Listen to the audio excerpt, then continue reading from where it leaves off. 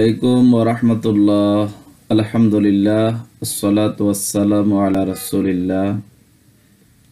দূরের ও কাছের দেশ ও প্রবাসের প্রিয় দর্শক ও শ্রোতা, সকলকে আন্তরিক অভিনন্দন ও মোবারকবাদ। প্রিয় সুদী বন্ধুরা, আপনারা কেমন আছেন?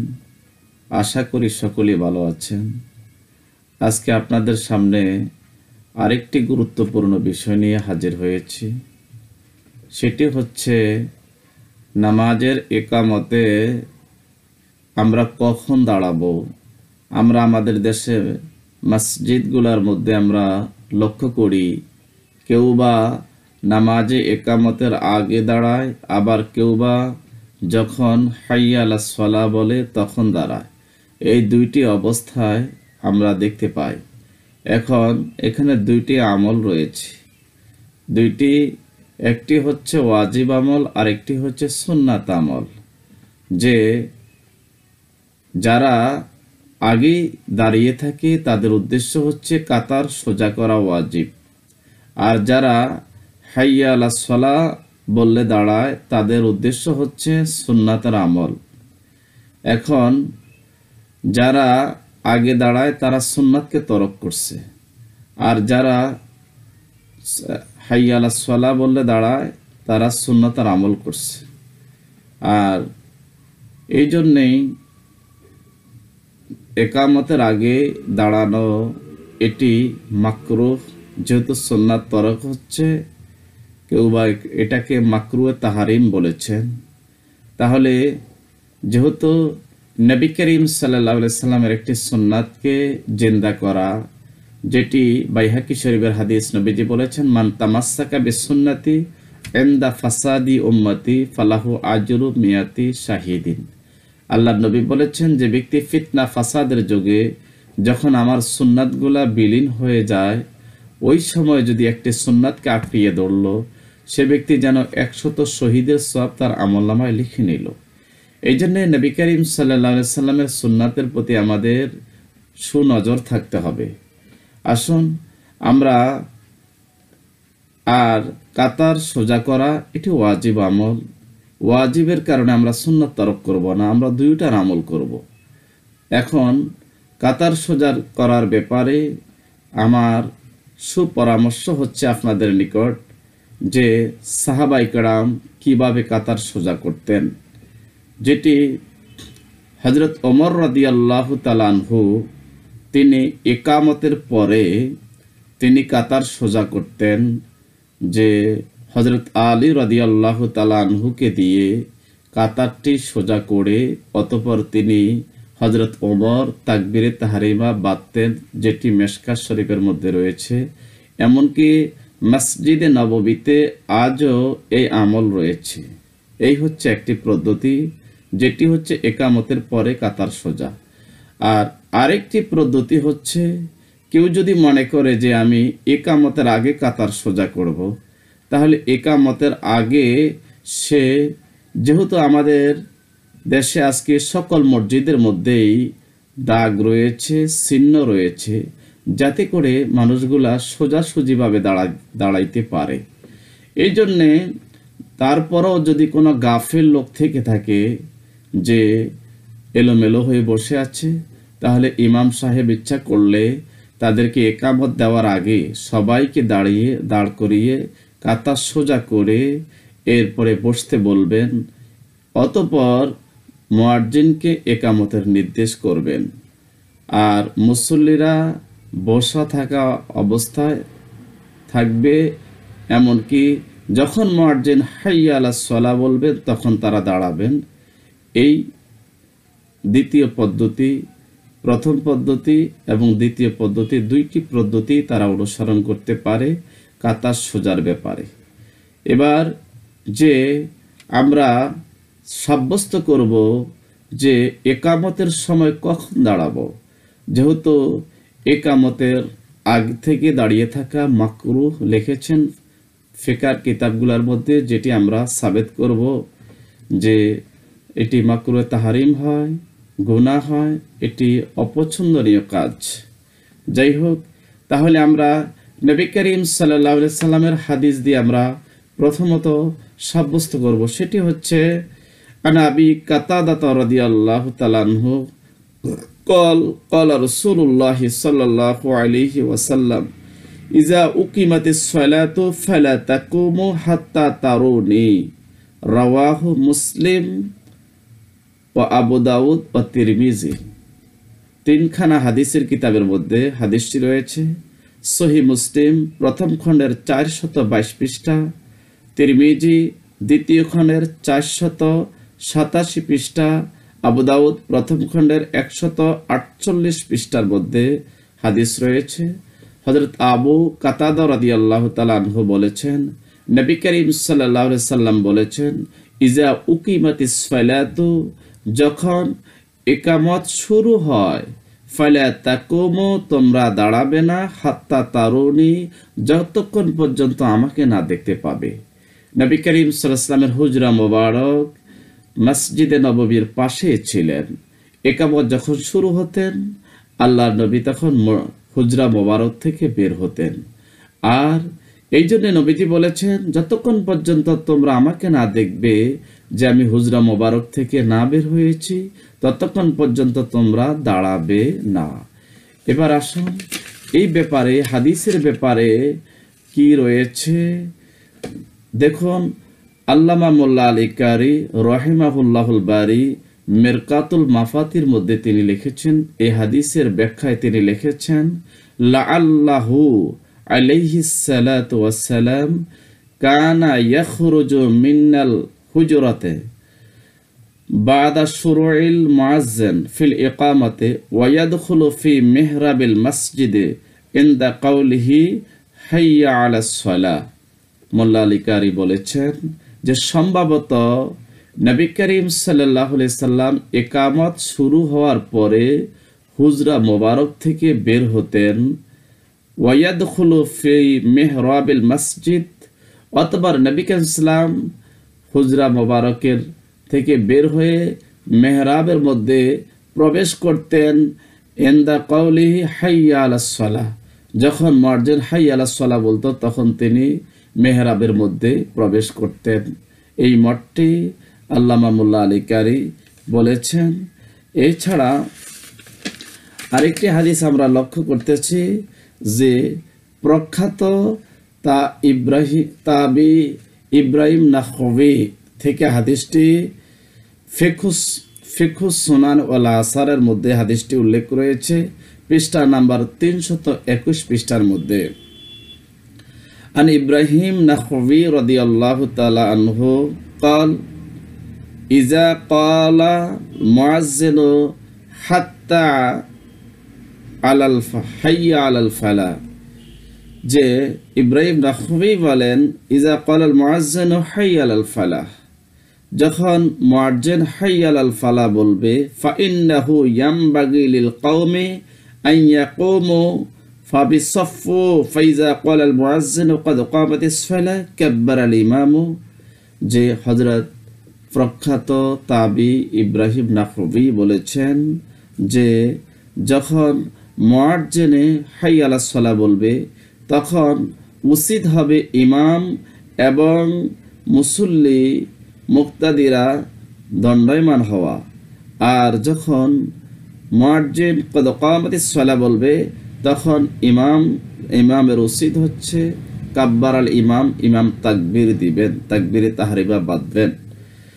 এছাড়া আবদুল্লাহ ইবনি আবি আউফা রদিয়াল্লাহ তালা থেকে একটি হাদিস রয়েছে যেটি ফেকুস সোনাল আসারের তিনশো একুশ পৃষ্ঠার মধ্যে হাদিসটি রয়েছে। তিনি বলেছেন, কানা রসুল্লাহ সাল্লাহ আলিহি ওসাল্লাম ইজা কলা বেলালুন কদ কামাতিস নাহাদা ফাকাব্বারা। নবী করিম সাল্লাহ আলী সাল্লামের অভ্যাস ছিল যে, যখন বেলাল কদ কামাতি বলতেন নাহাদা অথবা নবীলাম উঠে দাঁড়াইতেন, ফাকাব্বারা অথবা তাকবীর দিতেন। এছাড়া হজরত জাবির ইবনে সামুরা থেকে হাদিস রয়েছে, যেটি শারহে কেরমানের মধ্যে উল্লেখ রয়েছে যে হজরত জাবির ইবনে সামুরা বলেছেন, ফালা ইউকিমু হাত্তা ইয়াখরুজান নবী আলাইহি সাল্লাম যে নবী করিম যে ফালা ইউকিমু হাত্তা ইয়াখরুজান নবী। নবী ইসলাম যতক্ষণ পর্যন্ত হুজরা মোবারক থেকে বের হতেন না, ততক্ষণ পর্যন্ত একামত দেওয়া হতো না। ফাইজা খরাজা আকামাসালাতা হিনা ইয়ারাহু।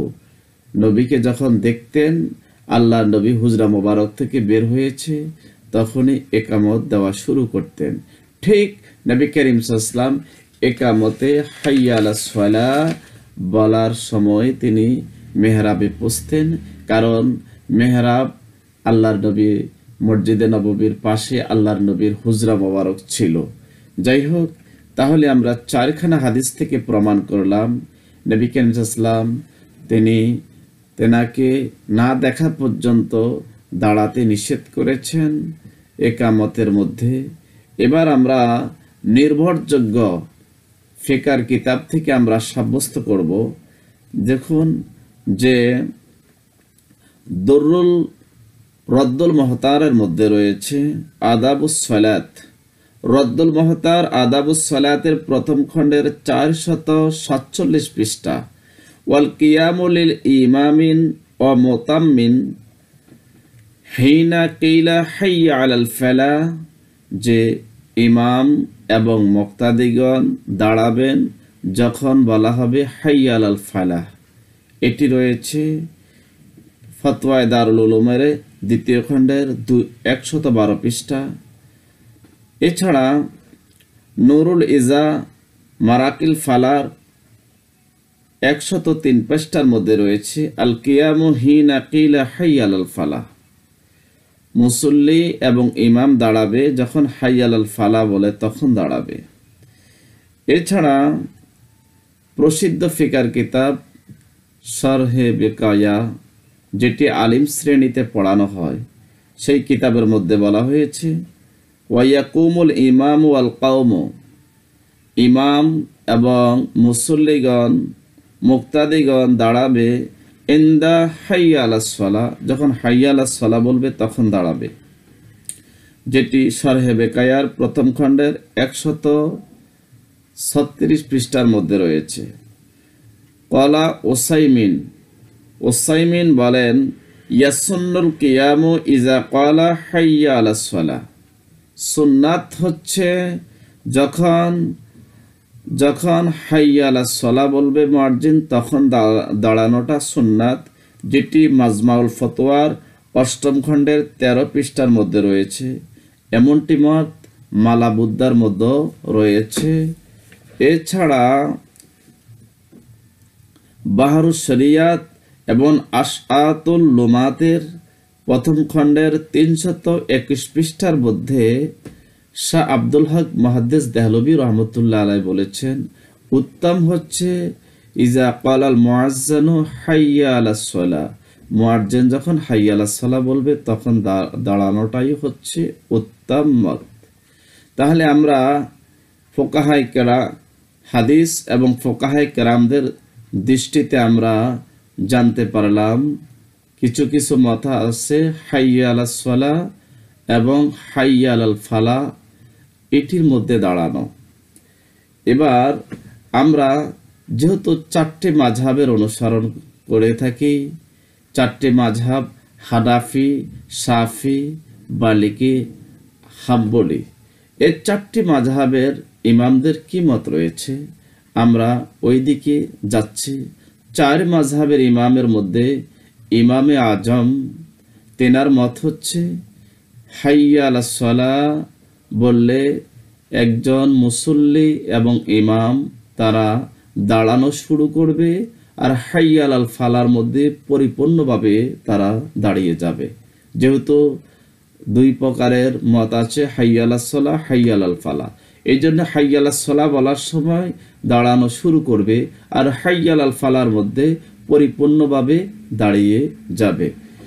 আসুন, তাহলে আমরা এবার ইমামে আজমের মতগুলো আমরা উল্লেখ করব যে ইমামে আজম সারহে বখারি, ওমদাতুল কারি মধ্যে উল্লেখ রয়েছে যে কলা আবু হানিফাতা ও মোহাম্মদ।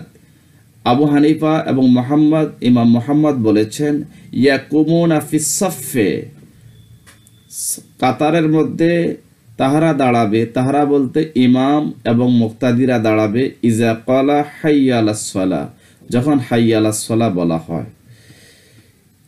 ফথুল বাড়ি শারহে বখারির মধ্যে রয়েছেন আনাবি হানিফা রদিয়াল্লাহ তালা আনহু থেকে ইয়াকুমুনা ইজা কলা হাইয়াল ফালা যে যখন হাইয়াল ফালা বলা হবে, তখন দণ্ডয়মান হবে।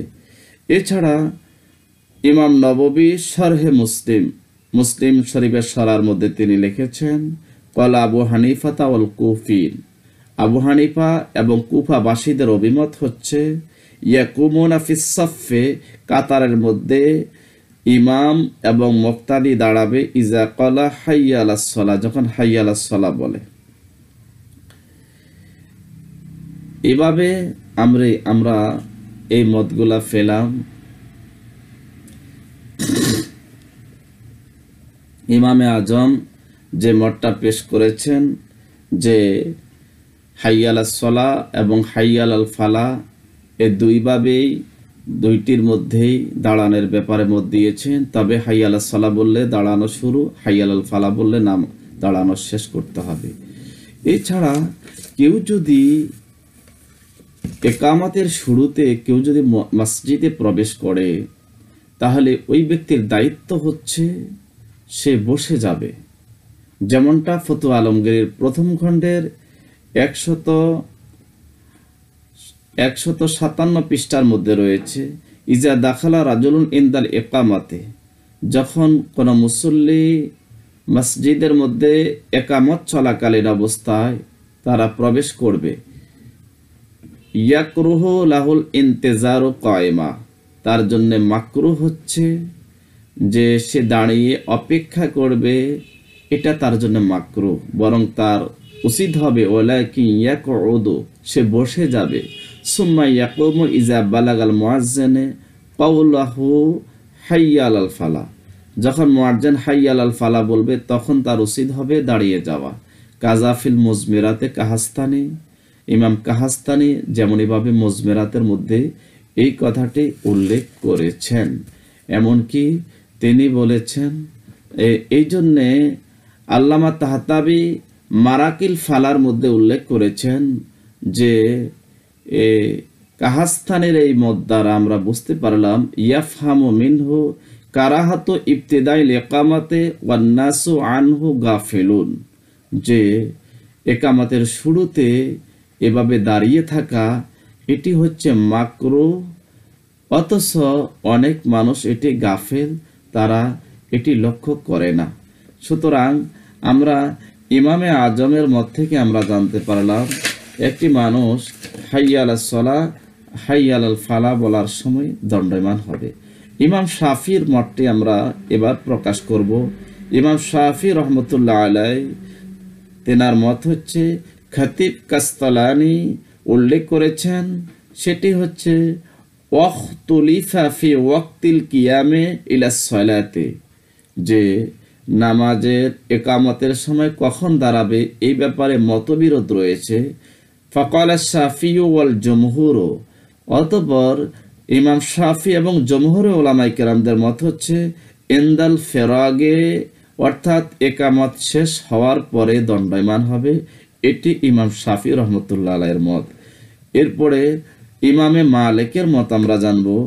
ইমামে মালেকের ঠিক তদ্রুপ মত, সেটি হচ্ছে আপনার একামতের পরে দাঁড়াবে। তেনার মতটি আয়নুল মাবাদ সরহে আবু দাউদ। আওয়ানুল মাবাদ সরহে আবু দাউদের মধ্যে উল্লেখ রয়েছে। ফাতুল বাড়ি সরহে বখারির মধ্যে উল্লেখ রয়েছে। কলা মালিক ফিল মুআত্তা ইমাম মালিক মুআত্তা মালিকে বলেছেন, লাম আসমা ফি কিয়ামিন নাসিহিনা তুকাম সালাতু বেহাদ্দিন মাহদুদ্দিন ইমাম মালিক বলেছেন, আমার কাছে কখন মুসল্লি দাঁড়াবে এমন নির্ভরযোগ্য কোনো হাদিস আমি পাই নাই। ইল্লা আন্নি আরাজালিকা আলা তাকাতিন নাসে, ফা ইন্না ফিহিম সাকিল ওয়াদ দাঈফ। তবে আমি এই মত পোষণ করি যে এটি মুসল্লিদের সামর্থ্যের উপরে নির্ভর করবে, কারণ মুসল্লিদের মধ্যে অনেকে ভারী আছেন, অনেকে জরাজীর্ণ, ফাতলা আছেন। সুতরাং তাদের যেন কষ্ট না হয়, ওয়াজাহাবাল আকসারুনা ইলা আন্নাহুম ইজা কান আল ইমামু মাহুম ফিল মসজিদ। আর অধিকাংশরা এই মতের মধ্যে, তারা একমত হয়েছে যে ইমাম যখন মসজিদের মধ্যে থাকবে, লাম ইয়াকো মাহাত্তা ইয়াফরুগা মিনাল একামাতে একামত থেকে যতক্ষণ পর্যন্ত অবসর না হবে, ততক্ষণ পর্যন্ত তারা দণ্ডয়মান হবে না। অর্থাৎ আমরা বুঝতে পারলাম, ইমাম শাফি এবং ইমাম মালিকের মতে হচ্ছে, একামত শেষ হওয়ার পরে দাঁড়াবে। এবার এবার আমরা ইমাম আহমাদ ইবনে হাম্বালের মত আমরা উপস্থাপন করব যে, কানা আনাসুন রাদিয়াল্লাহু তাআলা আনহু ইয়াকুমু ইজা ক্বালা আল মুআজ্জিন ক্বাদ কামাতিস সালাহ ওয়া বিহি ক্বালা ক্বালা আন-নববী মুসলিমের মধ্যে উল্লেখ রয়েছে। হযরত আনাস রাদিয়াল্লাহু তাআলা আনহুর অভ্যাস ছিল, তিনি দণ্ডমান হতেন। ইয়াকুমু, তিনি হতেন, তিনি দাঁড়াতেন। ইজা কালাল মুআজ্জিন যখন মুয়াজ্জিনে বলবে কদ কামাতিস সালাহ কদ বলবে, তখন দাঁড়াবে। এটি ইমাম আহমদ এই মঠটি গ্রহণ করেছেন। এছাড়া সারে বখারি আইনের মধ্যে ইমাম আহমদ উল্লেখ করেছেন কাল আহমদ ইজা কালাল মুয়াজ্জিন কদ কামাতিস সালাহ যখন মুয়াজ্জিন কদ কামাতিস সালাহ বলবে, তখন তোমরা দাঁড়াবে। সুতরাং আমরা চার ইমামের মত দিয়ে আমরা বুঝতে পারলাম যে নামাজের একামতের আগে, আগ থেকে দাঁড়িয়ে থাকার কোনো সুযোগ নেই, আর দাঁড়ালে মাকরু হবে, গুনাহ হবে, যেটি ইমাম সাহেবের দায়িত্ব হচ্ছে, যদি কাতার আপনার একান্ত সোজা করতে হয়, তাহলে আপনি একামতের আগে আপনি সোজা করে এরপরে বসাইয়া তারপরে একামতে হাইয়া আলা সলা বললে মানুষ দাঁড়াবে, তাহলে ওয়াজিবের আমল হবে সুন্নাতের আমল হবে। আর যদি ইমাম সাহেব গুরুত্ব না প্রদান করে, তাহলে সুন্নাত তরকের গুণা হবে। আল্লাহ রাবুল আলমী আমাদেরকে সঠিকভাবে এই নামাজের একামতের সময় ওয়াজিব এবং সুন্নাত দুইটির উপর আমল করার মতো তৌফিক দান করো ওমা আলাইনা ইল্লাল বালাক আসসালামু আলাইকুম রহমতুল্লাহ।